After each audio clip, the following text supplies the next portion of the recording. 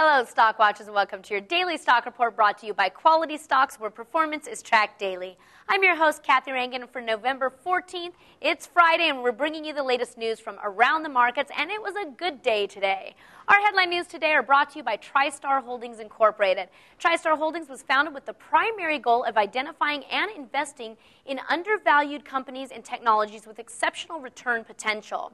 The company looks for opportunities that, with the proper funding and support, can generate significantly increased revenues. Let's get right into our headline news from Thursday. Oil jumped nearly 4% yesterday as OPEC is poised to cut production again later this month, and a rebound in equity markets offset growing signs of slowing demand. In other news, Microsoft Corporation shares hit their lowest level since 1998 on Thursday, dragged down by bad news that other major technology players like Cisco Systems and Intel corporations had a grim outlook. The markets opened this morning with the Dow up 552.59 points or 6.67%. The Nasdaq also up 97.49 points or 6.5%, and the S&P 500 also up 58.99 points or 6.92%. Now let's take a look at the market news that Quality Stocks has been tracking for you. Our market headlines are brought to you by EV Transportation Incorporated. Headquartered in Los Angeles, California, EV Transportation is the parent company of EV Rental Cars LLC, the first car rental company in the United States to rent only environmentally friendly vehicles to the public.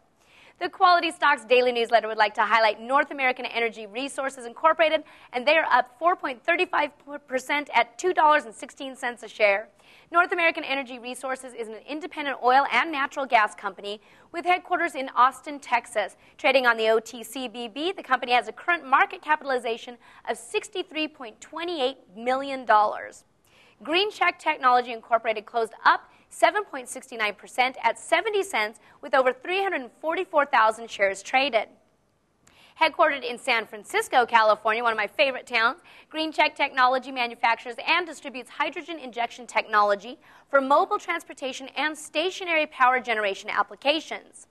View Systems Incorporated closed yesterday at 19 cents, down 45.71%.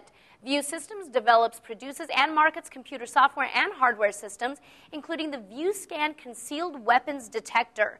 This is a walkthrough portal which uses, uses advanced magnetics technology to accurately pinpoint threat objects on a visual image of the subject.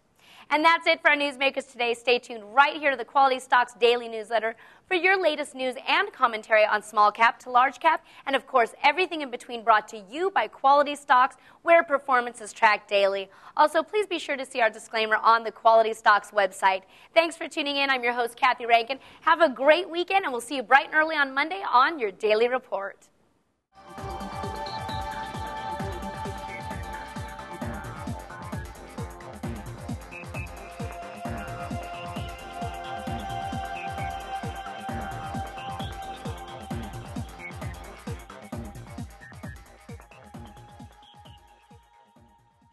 Hi, everybody. I'm Cathy Rankin. I came to Quality Stocks first because of my hosting experience, but it was a perfect fit because I actually have a background in marketing and uh, corporate experience as well. I'm mainly a film and television actor. I've been doing it full time for about the past six years.